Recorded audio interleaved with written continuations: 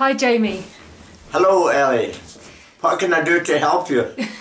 I wonder if you could tell me more about when you played Sandy Solace in the 1948, 1949 and 1951 Tyrone Guthrie productions of the Sound Yes. of Three Estates. Yes, by all means. Um, yes, it was very exciting for all the, the actors from the various um, theatres in Scotland. The Perth Theatre, the Unity Theatre, the Glasgow Citizen Theatre and the Dundee Rep all got together under the direction of the, the well-known director Tyrone Guthrie, who later became Sir, Di- Sir Tyrone Guthrie. And um, the uh, early on people were mm, a wee bit apprehensive because it was such a, a difficult, um, archaic kind, kind of uh, script. They weren't very sure. However, when the early rehearsal started, it became obvious that people were so excited about it and interested. And although uh, the, the, a lot of the language was archaic, it was so accessible and people understood it.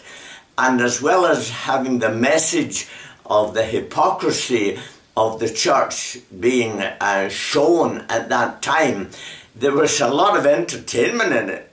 And uh, Sir, Sir Tyrone Guthrie certainly um, used all his skills in um, getting the very best uh, performances from all the actors, especially, of course, Duncan Macrae, who was the star. And he was absolutely brilliant in two roles.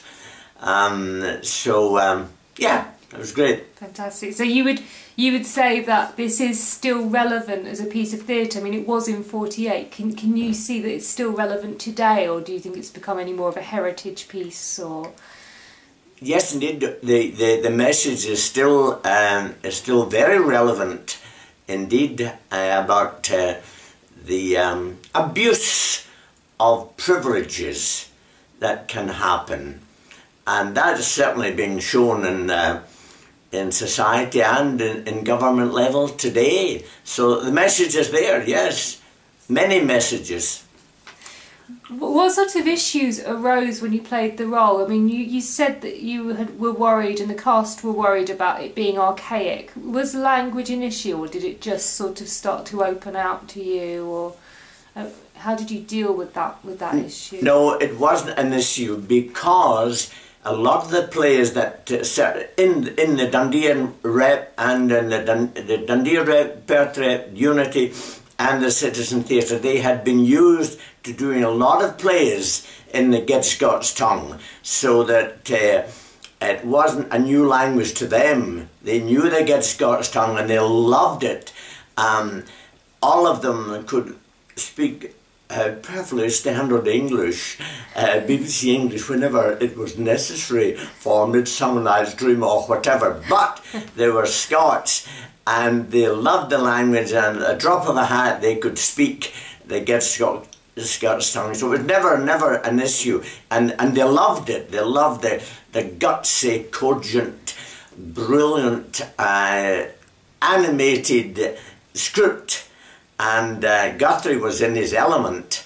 And uh, it just early on in the in the, the rehearsals, it became evident that it was going to be a success, and it was a colossal success. So when it came to delivering the lines, you really went for it in the Scots tongue.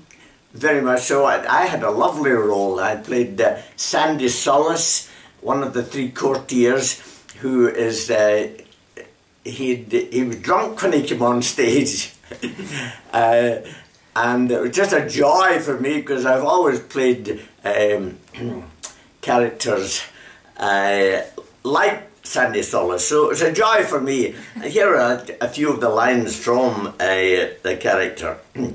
I entered from one of the aisles, running down and tumbling over, and um, in front of the the the whole cast, I would say, "Whoa, whatsoever sicketh rang, methought," they said, "I had gotten rang, had I help, I would sing and sang with a rich, merry voice. I have such pleasure in my heart that makes me sing the treble part." Would some good fellow fill the court? Then would my heart rejoice? What is my name? Can you not guess, sirs? Know ye not Sandy Solace? They call it my mother Bonnie Bess that dwelt between the boughs. At twelve year old she learned to swive. Thanked be thee, great God of life, she made me feathers four or five. Brilliant. Thank you. Solace is actually Sandy Solace is quite a um, a vulgar part. Oh, very much. How did you cope with that? The vulgarity of, of those scenes that with the homeliness and danger and you know turning the court into a brothel essentially. Yeah, well, uh, people were um, the actors uh, um, didn't seem to be offended in any way. Certainly not. Uh, they, they, they, they realised it was um, a first class script, a first class play, it was well worthwhile doing, and they were they just embraced the the, uh, the script and the characters without any difficulty at all. Did, with the audience, were there any problems with the audience being offended, or did they similarly just? That never, that was never an issue. No, there was uh, queues. It was sold out every night for three weeks, and there was queues at the box office, waiting, waiting for returns. It was just a, a, a colossal success. Brilliant. How did you think the audiences were going to react on the first night? I mean, did, did you have confidence that, that it would come across well from the rehearsals, or were you concerned about? Well, we, we, hoped, but we weren't sure. We were certain. It was like it seemed to me that um, um, Tyrone Guthrie and uh, uh, Mr. Honeyman, Dr. Honeyman, uh, had, they, they took a chance. They, they weren't very sure. Uh, they, they hoped for the best, but the first night was sensational. So from there on, it just we ne- never looked back after the first night. Princess Margaret was there at one time. Oh, really? Yes, she was indeed. Um, what What do you think uh, was the finest moment of the production in your recollection of it? If you could just pick one. Oh, that's a difficult one. There were so many brilliant performances.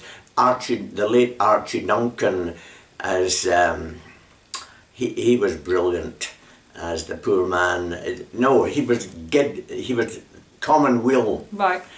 and the poor man was an Edinburgh actor. He was brilliant. Uh, But of course, the um, oh, there were there were so many good performances. Uh, Duncan Macrae, of course, got all the got most of the plaudits because his his two characters were just uh, sublime. Just he was he was at his very best, and he had the audience in the palm of his hand. Duncan Macrae, the late Duncan Macrae, died when he was sixty one years of age. Sadly, but he, yes, he was great.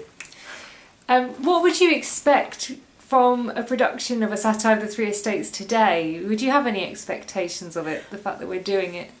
I would be, I'm looking forward to seeing it, and I haven't the slightest doubt that it will go well because the script is there. We have the actors in Scotland to uh, to do the job, and yeah, I'm looking forward. I I know it'll be a big success. Wonderful. Thank you very much, Jamie.